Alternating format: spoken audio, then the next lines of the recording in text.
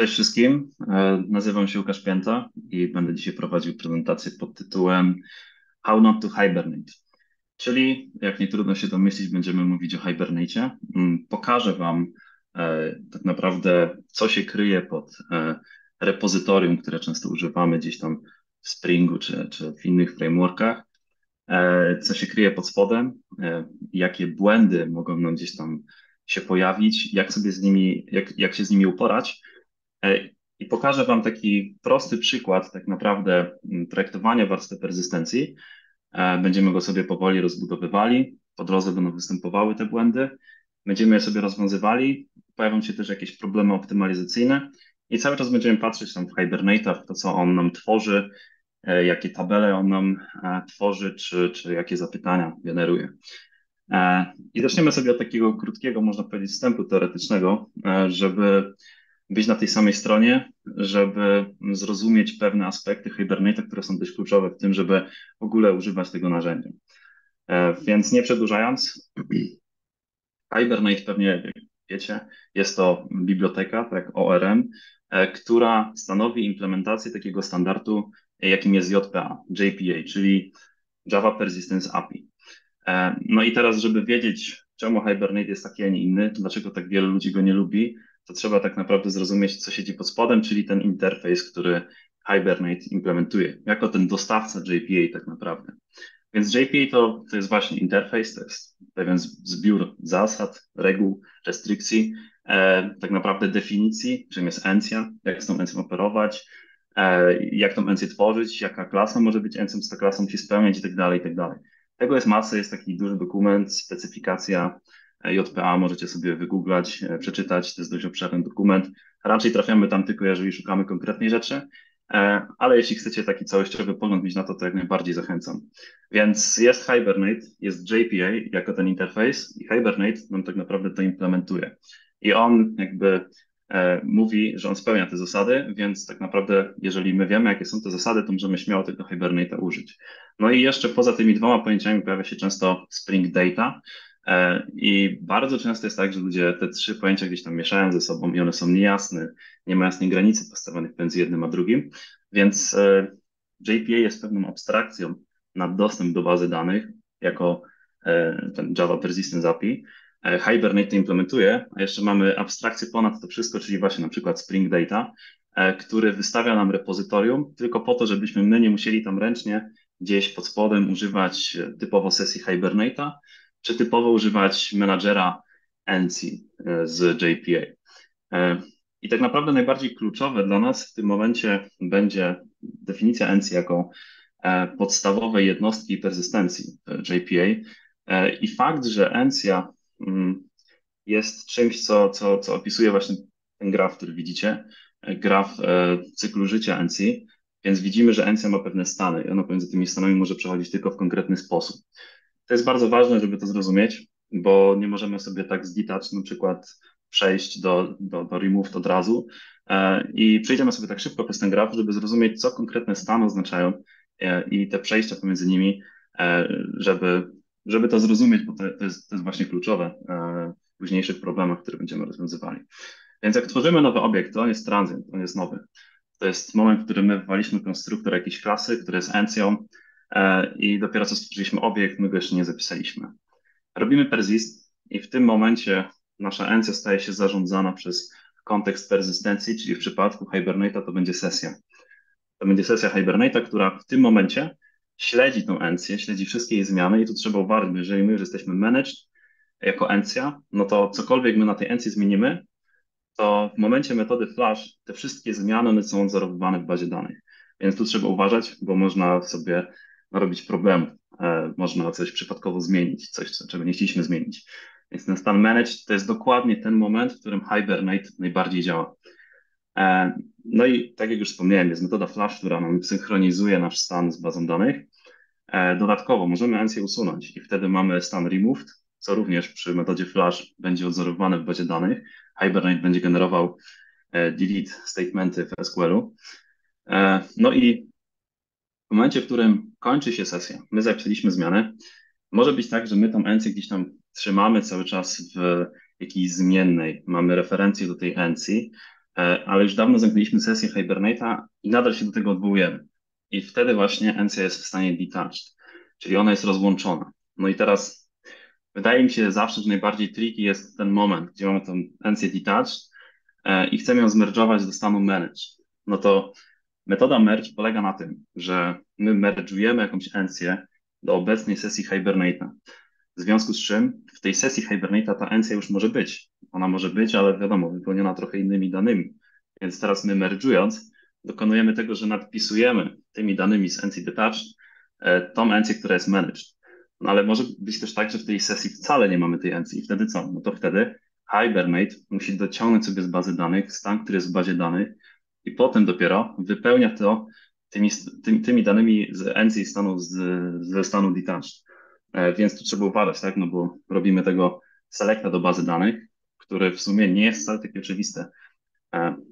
I to tak naprawdę z teorii tyle. Przejdziemy teraz do kodu. Mm, zaczniemy od takiego prostego przykładu NC postu. Ja tu już przygotowałem projekt, mm, który e, jest prostym projektem, gdzie zaczynamy sobie od jednej NC, czyli tej NC postu.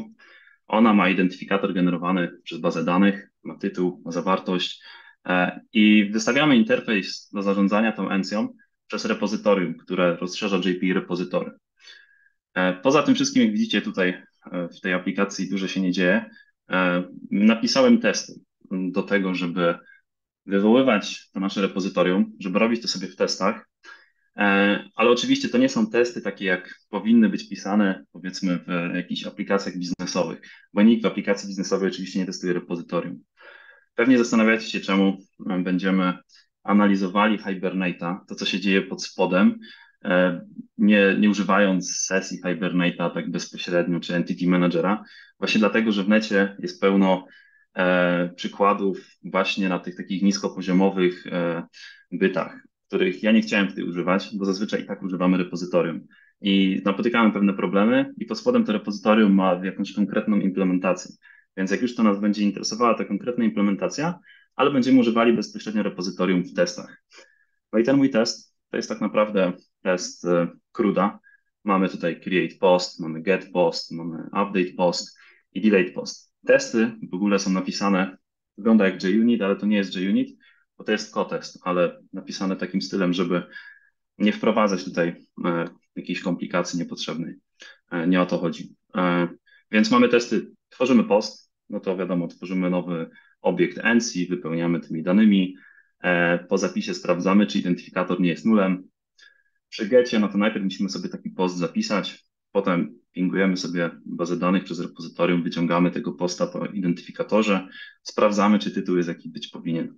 Przy update'cie, no to też wiadomo, zapisujemy najpierw, potem robimy jeszcze raz save'a, tylko tym razem tworzymy NC już z tym identyfikatorem, z danymi, które są zmienione, e, no i oczywiście asercja na koniec. Mm, I przy delete, e, no robimy to co wcześniej, czyli najpierw zapis, potem usuwamy, potem sprawdzamy, czy jak my się odwołujemy, E, do tego, do tego postu, to rzeczywiście go nie ma w bazie danych. Odpalę Wam te testy, żeby nie było, że tu miałem jakiś stary taki log w konsoli. Testy przechodzą. Więc idziemy dalej. Więc jak widzicie, sobie porobiłem takie stage, żeby część kodu ona sobie wskakiwała tutaj automatycznie. E, w momencie, w którym będziemy chcieli pisać kod ręcznie, to wiadomo, będziemy go pisali. Mm, I co się teraz zmieniło? Tutaj możecie sobie też zobaczyć, żeby nie było zmiany gdzieś z prawej strony tej w okienku wyskakują. Pojawiła się nowa encja, więc e, rozbudowujemy sobie ten nasz model, dodajemy encję autora. Autor postu też będzie miał identyfikator generowany przez bazę danych, będzie miał imię, nazwisko i my tego autora dodajemy sobie w relacji do postu jako many to one, czyli jeden autor może mieć więcej niż jeden post, co jest logiczne. E, no i teraz w testach jedyna zmiana, jaka tutaj wystąpiła, utworzyłem taką zmienną w testach czyli autora, jakąś tutaj encję Jan Nowak, którego będziemy dodawali jako autora. E, dodałem go wszędzie w konstruktorze post entity, tego, te, tą, tą właśnie zmienną. I teraz jak odpalimy sobie te testy,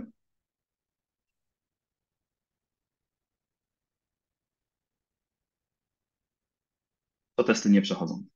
Nie przechodzą, ponieważ napotykamy błąd Hibernate'a. Transient Property Value Exception object references an unsafe transient instance, save the transient instance before flashing. I tu oczywiście chodzi tego autora, którego dodaliśmy. No i teraz, tak naprawdę, żeby zrozumieć, o co chodzi w tym błędzie, musimy się cofnąć na naszą prezentację i na ten graf. Tam było powiedziane, że mamy post tak, i mamy autora. Oba są w stanie transit na początku, bo próbujemy je zapisać. Zapisujemy je i potem leci flash. Tylko, że autor, na autorze nie wywołaliśmy metody .save. Autor zostaje tak naprawdę gdzieś tam wisi sobie. E, post flashujemy. No i w momencie, kiedy flashujemy, to Hibernate nam mówi, hej, ale ty flashujesz tutaj ze sobą razem e, obiekt, który jest w referencji i on jest transient. Tak nie można. Jego najpierw musisz sperzystować, żebym, żebym w ogóle wiedział, co się dzieje, nie? E, no właśnie, i tu jest problem, że autor nie podąży za nami, nie podąża na tym grafie e, cyklu życia ENCI. Można to zmienić, można dać tutaj sobie kaskady. Mm, to jest prawdopodobnie, jak piszecie ten błąd w internet, to to jest właśnie to, co wam wyskoczy. Dodajcie kaskady, więc możemy dodać kaskady, możemy puścić raz jeszcze. E, I ta kaskada mówi tyle, że jeżeli my robimy save na post entity, tak, robimy metodę persist, to autor też ma być persystowany. Tych kaskad tutaj oczywiście jest więcej i one dotyczą wszystkich tych przejść między stanami e, na, na grafie NC. Można wrzucić sobie all oczywiście, ale my mieliśmy problem w konkretnym przypadku, więc nie wrzucajmy nadgorliwie czegoś, czego nie potrzebujemy. E, no dobra, mamy testy. Pierwszy przechodzi, create działa, delete, delete już nie, tak? Get też już nie działa, update też nie. I wszystkie trzy, jak się przyjrzymy, one mają ten sam błąd. Detach entity pass to persist. Jak sobie zobaczymy na tym naszym getcie, gdzie to się dzieje? To się dzieje w momencie save'a. Dało się tego domyślić po, po tym, że to jest napisane przy, przy persystowaniu, tak? No, czyli przy save'ie. E, czyli co?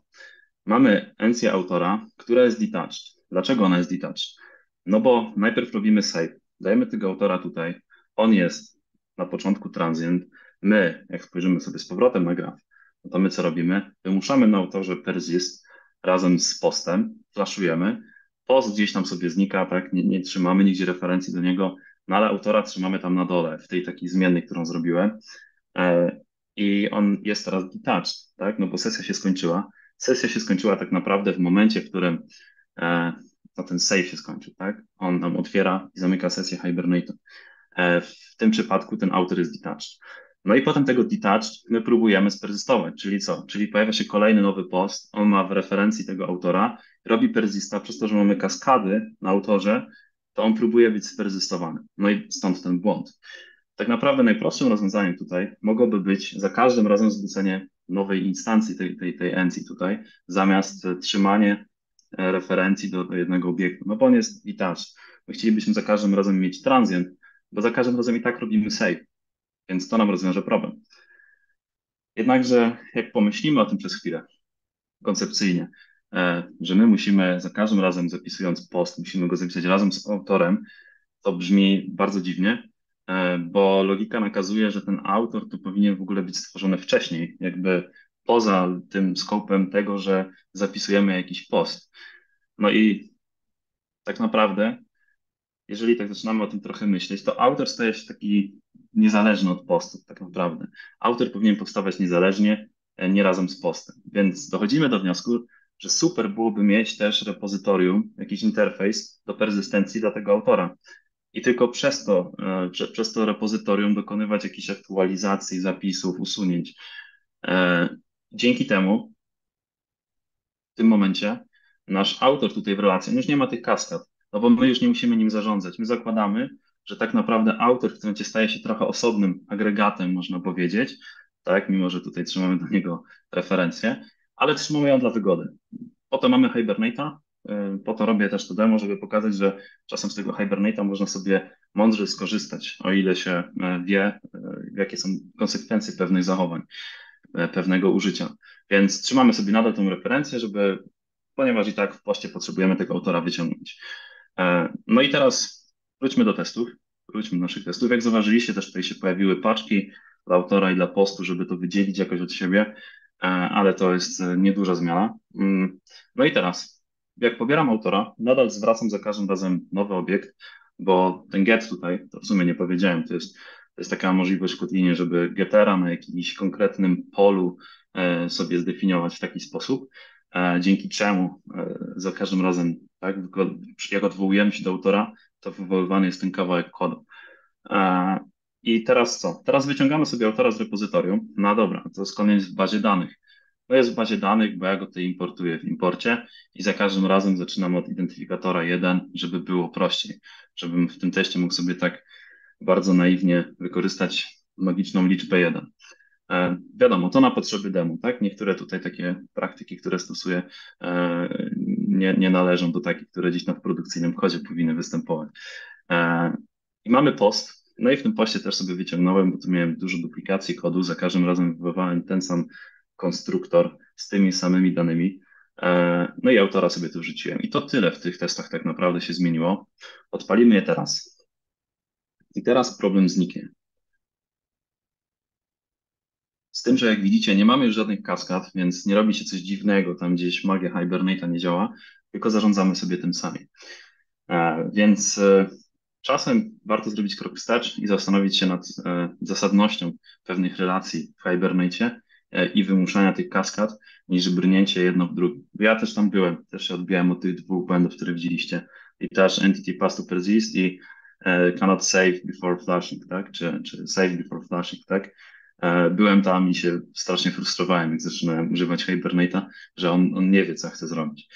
Mm, tylko, że ja nie rozumiałem, o co chodzi. Nie rozumiałem, co jest pod spodem. I jak teraz pomyślimy sobie, o, spójrzmy sobie tak, spójrzmy sobie w geta i przeanalizujmy teraz to, co nam Hibernate tutaj robi. Mamy metodę save i on najpierw nam robi select, co jest zrozumiałe, bo on ciągnie najpierw autora. Idziemy dalej. No to potem mamy insert do tabeli post. To jest zrozumiałe, tak? No robimy tutaj save'a.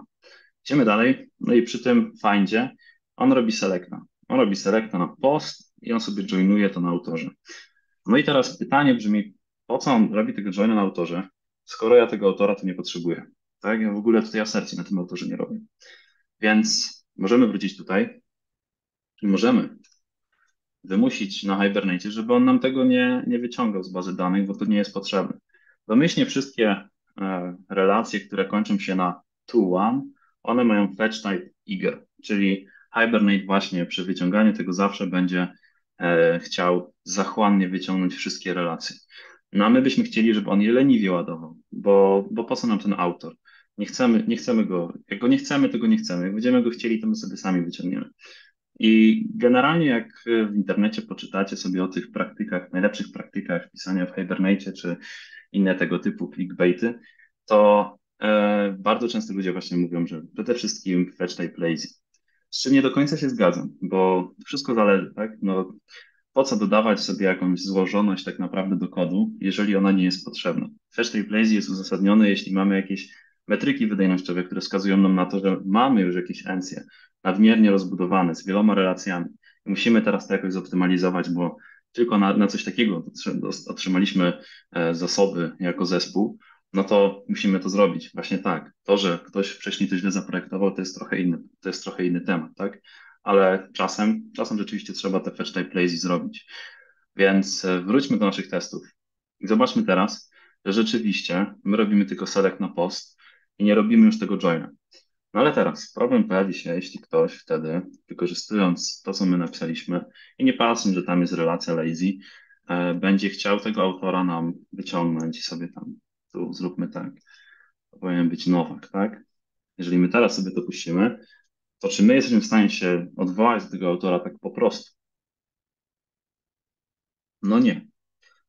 Nie możemy tego zrobić. I błąd, który otrzymujemy, to że nie można było zainicjalizować proxy.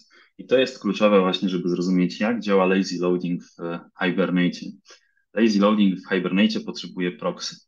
A żeby on sobie to proxy zainicjalizował, to on potrzebuje mieć sesję. A on nie ma ani jednego, ani drugiego tutaj. A dlaczego nie ma sesji? No bo sesja Hibernate'a, ona się otwiera i kończy w ramach wywołania tej metody. Jeżeli my chcielibyśmy tutaj sesję, to my musieliby, musielibyśmy sobie ją jakoś tak ręcznie otworzyć. No i nie polecam iść tutaj w kierunku wstrzykiwania sobie session factory i otwierać taką sesję i kombinować na takim niskim poziomie, bo e, posiadamy taki wyższy poziom abstrakcji, który nam również pozwala koncepcyjnie otwierać, zamykać sesje. I tym poziomem abstrakcji jest e, coś takiego, czym jest transakcja. No i zgodnie z tym, że Spring tak, jest e, zorientowany na adnotację, no to w Springu transakcje oznaczamy, jakby, jakby nie patrzeć, tak, e, adnotacją transactiona. E, I tu są takie zasady, że to musi być bin springowy, tak, żeby Spring tym zarządzał i dodatkowo musimy wywoływać tą metodę z innej klasy. Wtedy dopiero ta transakcja zostanie otwarta. Ja sobie tutaj na potrzeby testu zrobiłem takiego providera tego, tych transakcji, żeby sobie wywoływać kawałek kodu taką, mm, taką transakcją. I tu jeszcze to trochę sobie obudowałem tak kotlinowo bardziej, ale nie będziemy tego analizowali, bo to nie jest e, prezentacja o kotlinie, więc te magiczne słowa niech Was nie przestraszą. E, one nie mają tutaj zbytniego znaczenia w kontekście tego, co prezentuję. Ważne jest to, że my możemy sobie po prostu bardzo fajnie użyć takiej transakcji właśnie tak napisanej. Otwieramy sobie lambdę i możemy sobie nawet coś zwrócić z tej lambdy i przypisać i on nam ogarnia, jaki to jest typ pod spodem. No i teraz jeszcze raz musimy sobie tutaj zrobić fetch type lazy i wrócić do naszego testu, odwołać się do tego, albo inaczej, zróbmy tak. Otwórzmy sobie tej transakcję, zrobimy ją read-only, bo daję tam też możliwość, żeby transakcje były read-only, co jest uzasadnionym e, działaniem, bo jeżeli mamy pod, pod spodem, tutaj mamy Postgresa, no to jeżeli transakcja jest read-only, no to w bazie danych ona też będzie read-only. Jeżeli ona jest read-only, to ona nie będzie nam blokowała zasobów, e, to w zależności od tego, jaki, e, jaki model taki e, odporny na współbieżność stosujemy, tak, jaki locking gdzieś tam w bazie zapinamy, ale generalnie rzecz biorąc, jeżeli transakcje są read-only, no to to jest optymalizacja. Również Hibernate to optymalizuje, że to jest transakcja read-only, nie blokuje na pewnych zasobów. Dlatego warto ją stosować wtedy, kiedy my wiemy, że w tej metodzie, że to jest jakiś query, tak? nie będziemy zmieniać niczego, warto jest dodać to jawnie, że to jest read-only. I jeżeli my teraz odpalimy to sobie w debuggerze i zobaczymy, kiedy, kiedy on tak naprawdę wyciągnie nam tego autora, sobie odpalimy logi, Czyli jesteśmy po find by ID or null. Wyciągnęliśmy sobie posta. Teraz weźmy tak, że weźmy sobie to post entity autora, cyk. No i teraz robi się select, tak? Po tego autora. Tu nawet widzimy, że to Hibernate proxy nam wyciągnął, więc super, działa. E, no właśnie, ale należy też zwracać uwagę na to, że no, tak jak mówiłem wcześniej, nie zawsze chcemy, nie zawsze tego chcemy, żeby coś było lazy, e, wyciągane leniwie E, to nie zawsze jest rozwiązanie, czego oczekujemy. Plus, no wiadomo, kolejny select jest do bazy danych, tak? To też jest coś, co stanowi w pewnym momencie jakieś obciążenie, że mamy ileś tam zapytań wykonywanych. Pójdźmy dalej. Kolejnym tematem, który chciałem Wam pokazać, to jest taki trochę. Hmm, wydawałoby się, że nie ma o czym dyskutować, przynajmniej tak na pierwszy rzut oka. E, natomiast widziałem już parę różnych podejść, w sumie to dwa. E, na temat implementacji w warstwie perzystencji takiego czegoś, czym jest value object z domain driven design, czyli obiekt wartość, czyli tak naprawdę taka klasa, która nie ma swojej tożsamości, takiej bezpośredniej jak na przykład Encja. Encja ma identyfikator, ma swoją tożsamość i ta tożsamość jednoznacznie identyfikuje Encję. Natomiast obiekty wartości, one opisują, one, one są takimi właśnie e, deskryptorami, czyli coś, co ma jakieś tam atrybuty i to te atrybuty jednoznacznie świadczą o tym, że to jest to. Więc e, dodajmy sobie value object. Pierwszym z tych podejść to jest właśnie implementacja value objectu jako NC. To brzmi trochę sprzecznie, tak? No przed chwilą mówiłem, że to jest coś innego, NC a value object. No ale właśnie bardzo często popełniamy błąd, gdzie nasze encje bazodanowe stanowią jeden do jeden e, to samo co encje gdzieś tam biznesowe, domenowe, e, co nie zawsze tak jest. To jest tylko nasze, nasze, nasze mapowanie do bazy danych e, i to też wcale nie musi być zawsze takie samo, tak? No bo tu możemy stosować jakieś takie techniki optymalizacyjne tylko na warstwie danych. Jeżeli nam to przeniknie do naszego kodu domenowego, to nie jest dobrze. To musimy to jakoś odseparować na pewnym etapie. Dlatego to, że to jest encją bazodonową, można na to przymknąć oko. I, I, widziałem takie, takie właśnie rozwiązania. Więc mamy kontakt info, czyli jakieś informacje kontaktowe, to jest adres, telefon, e-mail i autor fajnie jakby miał takie informacje kontaktowe. Widzimy jakiś post dodaje, czy coś takiego, chcielibyśmy się z nim skontaktować. E, I żeby to zaimplementować jako obiekt wartość, to można zastosować właśnie taki trik związany z tymi kaskadami, czyli my tak naprawdę będziemy operowali autorem e, i na tym autorze będziemy wymuszali save, delete, update i tak dalej, e, a jednocześnie będziemy mówili Hibernate'owi, ej, tu jest taka encja i ona ma naiwnie za nami podążać we wszystkich tych przejściach w grafie, dlatego wrzuć tu wszystkie kaskady. A dodatkowo, jeżeli jakiś rekord w bazie danych kontakt info zostanie osierocony, to znaczy on nie, nie będzie, żaden autor się do niego odnosił, no to usuń go. No i to jest właśnie ten orphan removal. Dobra, i teraz odpuścimy sobie testy.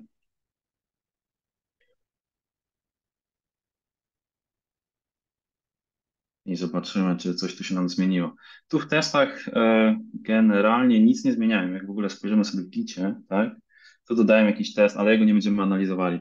Ale go dodałem trochę nadgorliwie. Na to nie patrzmy. E, więc widzicie tutaj w gicie, tak, tu nie ma żadnych zmian. Mm, tak, a jak zobaczymy sobie na testy, to one nam przeszły. I to jest ciekawe. To jest coś, co e, trochę nie jest powiązane z tym, że to jest, dodaliśmy ten value object tak bezpośrednio, ale związane jest z tym, e, jak działa Hibernate i przy okazji to poruszymy. Zauważcie, że w naszym imporcie my w tym autorze w ogóle nie dajemy informacji, że tu ma jakiś kontakt info być dodany. Tam nic nie ma. I to nam wszystko przechodzi. Jak my sobie teraz odpalimy logi Hibernate'a, to widzimy, on nam tworzy tutaj tabelkę autor, tu jest kontakt info ID, no jest. Mm, tak, ale ono nie jest y, oznaczone jako not null. Hibernate nam zrobił to jako nulowalny. Mimo, że nie wiem na ile znacie Kotlina, na ile nie, ten kod, który tu pokazuje, on jest tak generalnie napisany w taki sposób, że to nie powinno stanowić problemu. Natomiast Kotlin ma coś takiego jak null safety. My możemy sobie powiedzieć, że kontakt info tutaj, ono może być nulem albo nie może być nulem. No i my powiedzieliśmy Kotlinowi, ej, to kontakt info nie może być nulem. No a mimo to moje testy przechodzą. No i dzieje się to właśnie dlatego, jak działa Hibernate. Czyli Hibernate, on nie jest taki fajny, że on będzie wywoływał nasze konstruktory. On będzie wywoływał pusty konstruktor e, i w dodatku e, używał refleksji. Tak? On w ogóle omija wszystkie tak naprawdę paradygmaty programowania obiektowego i to jest główny powód, dla którego ludzie często Hibernate'a tak bardzo nie lubią. I w ogóle jakichkolwiek ORM-ów. Jest też taki, taki trend ostatnio. W ogóle ten trend nie jest w sumie ostatni, tylko dawien dawna, e, że ludzie mm, bardzo oskarżają ORM-y o praktyki antyobiektowo, antyobiektowe, tak? No więc on tutaj nam to oleje i tak naprawdę musimy, e, musimy temu Hibernate'owi powiedzieć jasno, że to pole, ono nie jest opcjonalne i dodatkowo wszystkie kolumny, tak jak tu widzicie, one zostały zdefiniowane przez Hibernate'a jako nulowalne. A żeby powiedzieć Hibernate'owi, ej, to nie może być nulowalne, no, to musimy użyć konkretnych adnotacji. Tak? Musimy to jasno zaznaczyć, że ta kolumna, ona nie może być nulowalna. E, więc no niestety wchodzą nam kolejne adnotacje do kodu, te encje będą się robiły coraz brzydsze, ale tylko w taki sposób tak naprawdę, e, a tu przynajmniej true dałem, mój błąd, tylko w taki sposób my jesteśmy w stanie kontrolować to, co Hibernate będzie generował. Ktoś powie, że to nie jest problem, bo on ma REST API i w tym REST API on używa Kotlina, albo w ogóle niech sobie używa nawet Java i on tam wszystko sprawdza. Tam, tam nic nie może być nulem. On tam ma nawet takie adnotacje, walidatory i tam nic nie może być nulem. No i to, to działa do pewnego momentu.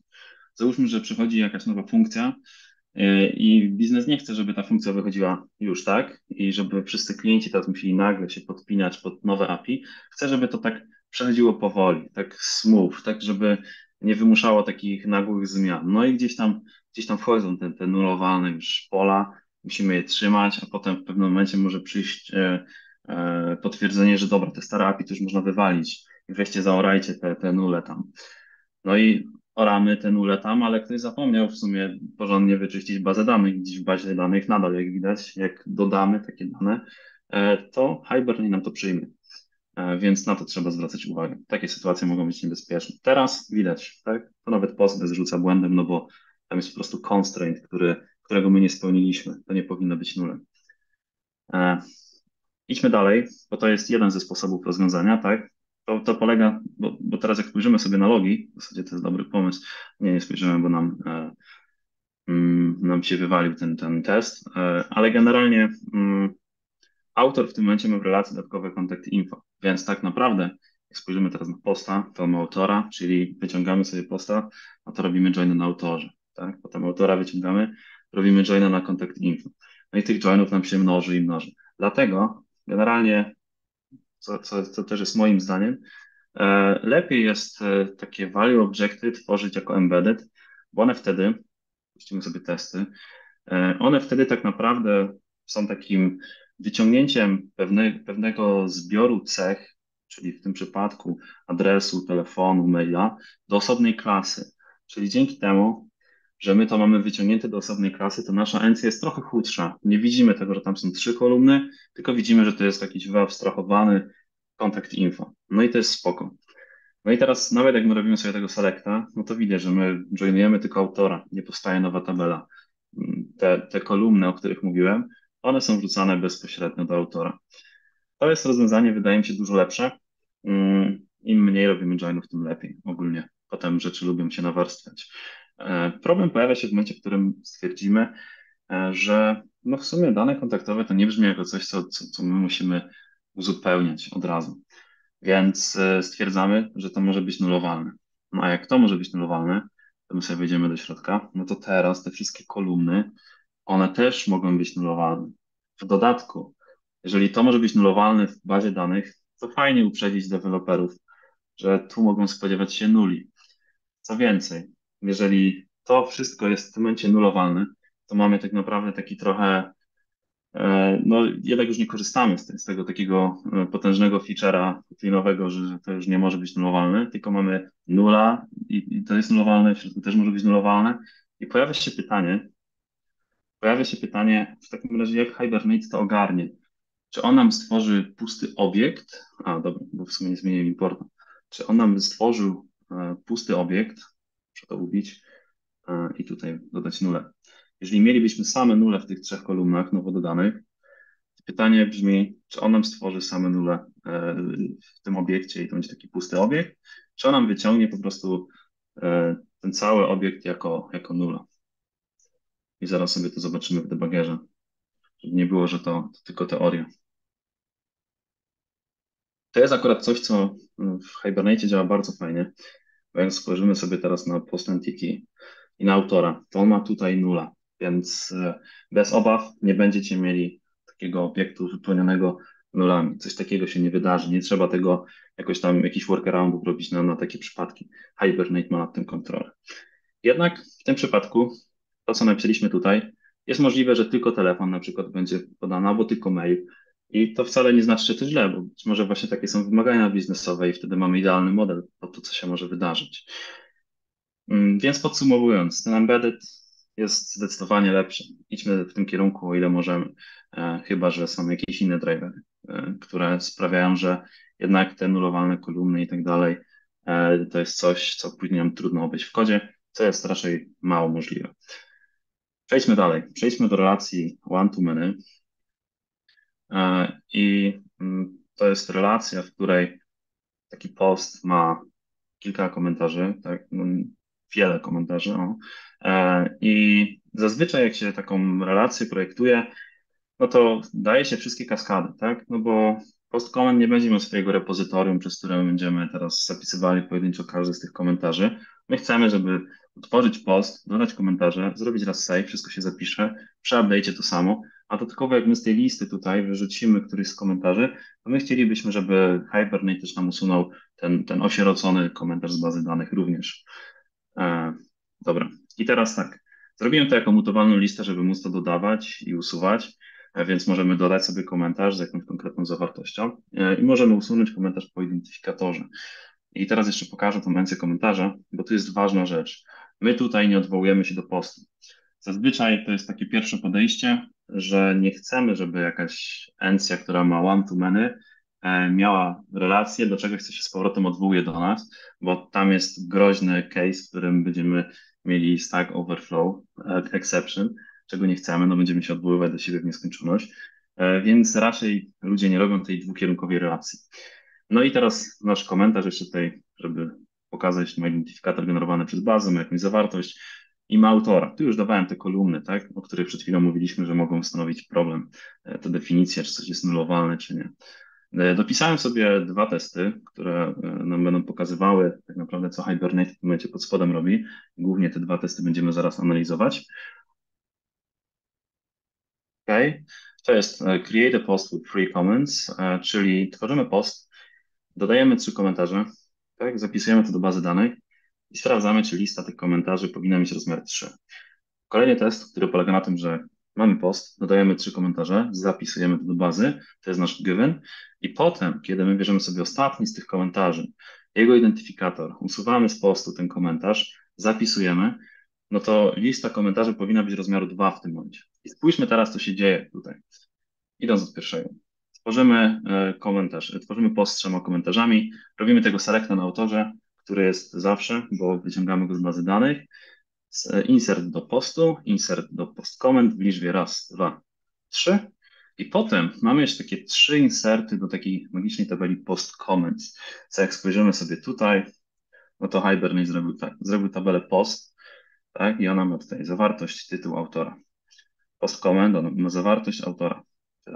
E, no i tabelę, która to łączy, bo czemu nie? Jakby kto by pomyślał, że można by wrzucić do post comment po prostu post ID i byłoby po sprawie. No niestety, tak, tak zaprojektowaliśmy nasze relacje w Hibernate, więc to my jesteśmy temu winni, że mamy w tym momencie 2n plus 1 insertu, gdzie tak naprawdę n plus 1 insertu wystarczyło. Pójdźmy dalej, do delete, do delete, przepraszam. Eee, mamy to, co wcześniej, czyli inserty, inserty, inserty, inserty. Tu mamy jakiś duży select z wieloma joinami, do którego wrócimy potem. Teraz zajmijmy się tym delete. Eee, więc e, najpierw usuwamy z postcomments, czyli tej tabeli pośredniej, usuwamy wszystkie te rekordy, które e, są, są, są w relacji z tym postem, tak? czyli zamiast usunąć konkretny, tak? ten jeden, usuwamy wszystkie, a potem te dwa, które miały nie być usunięte, dodajemy z powrotem. E, no i dopiero na koniec usuwamy postcomment. Jest to dziwne, że tak się dzieje, a dzieje się tak dlatego, ponieważ dokładnie tak Hibernate widzi tą relację. E, żeby on ją widział trochę lepiej i zoptymalizował nam te usuwanie tutaj, moglibyśmy zrobić tutaj mutable set. Jeżeli to będzie mutable set, to on wie, że na liście tych komentarzy żaden komentarz nie może się powtórzyć, więc jak my teraz sobie uruchomimy testy, a i tu oczywiście gdzieś powinien polecieć błąd, tutaj oczywiście. Teraz uruchomimy testy, to zauważymy, że jedna optymalizacja już zostanie wykonana, ale to nadal nie jest to, czego szukamy. Weźmy tutaj, te inserty, one nadal są, nadal jest ten post comments, select nadal jest, potem wrócimy do tego. I e, proszę bardzo, usuwamy teraz post comments dokładnie ten rekord, który chcemy usunąć. Więc już mamy jakąś optymalizację, nie ma tych dwóch insertów bez, bez, bezsensownych. W tym momencie Hibernate wie, że OK, na tej liście ten komentarz może wystąpić raz. Więc dla tej NC ten komentarz może wystąpić tylko raz, a my dokładnie ten komentarz usuwamy. Więc on może sobie to ładnie pousuwać. No bo e, jeżeli komentarz może wystąpić więcej niż raz na liście, no to on mo, musi usunąć tylko ten, który usuwamy, a e, pozostałe musi zostawić. Dlatego wcześniej mieliśmy ten problem op optymalizacyjny. Żeby pójść dalej z optymalizacją, e, ktoś powie, że jest coś takiego jak join column i moglibyśmy w ten sposób wymusić Hibernate'owi, żeby on trzymał relację po stronie post-comment. Można tak to zrobić, ale to nadal nie jest optymalne rozwiązanie, ponieważ join column jest tak naprawdę tylko fizyczne wskazanie, gdzie ta relacja będzie przechowywana. I Hibernate nie umie tego optymalizować. E, on rzuca potem dużo, generuje bardzo dużo zapytań typu update do bazy danych, czego nie chcemy, bo my chcemy zminimalizować ilość zapytań. Więc optymalnym rozwiązaniem, naprawdę, jeżeli nas to boli, i chcemy to zaprojektować dobrze, to jest jedyne poprawne rozwiązanie, żeby pójść z postem po tej stronie, czyli relacja zwrotna, czyli coś, czego tak bardzo się baliśmy, ale i tak musimy to zrobić. E, I wskazanie tutaj, że ta relacja jest trzymana po stronie pola klasy post entity, to pole to jest post. Dokładnie o to, o to tu chodzi. No i teraz jeszcze pionocie się na czerwono świeci, bo musimy w konstruktorze przekazać Proszę bardzo. Jak teraz odpalimy testy, to teraz nie będzie tej tabeli pośredniej. To jest właśnie trik na to, żeby tej tabeli pośrednio się pozbyć, a dodatkowo nie generować e, tych wielu zapytań e, update do bazy danych. Mamy insert do post, insert do post comment, raz, dwa, trzy i to jest koniec, tam nic nie ma dalej. W delete e, mamy insert do post, insert, insert, tu mamy selecta, zaraz do niego wrócimy i jeden delete. Delete post comment, e, bo mamy tą tabelę komentarzy, tak? Musimy usunąć ten komentarz, no bo to jest dokładnie to, co chcemy zrobić. E, I teraz zajmijmy się tym selectem. Zoptymalizowaliśmy już naszą relację i teraz zastanowimy się, co tu robi ten select, tak? Przecież my tu nigdzie nie robimy selecta. Tu mamy save, tu mamy save i to tyle.